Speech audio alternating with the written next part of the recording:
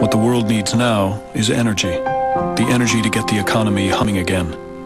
The energy to tackle challenges like climate change.